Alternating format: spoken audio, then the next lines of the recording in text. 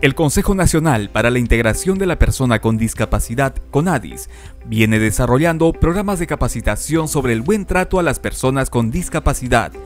En esta oportunidad, dirigido a un aproximado de 500 efectivos de la División de Investigación Criminal DIRINCRI.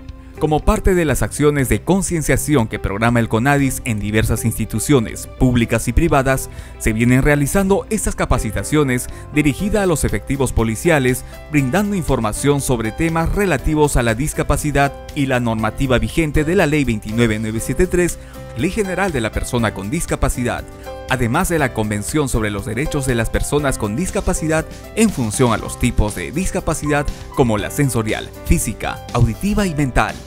Por su parte, el presidente del CONADIS, licenciado Darío Portillo, manifestó la necesidad de tratar de manera adecuada a las personas con algún tipo de discapacidad.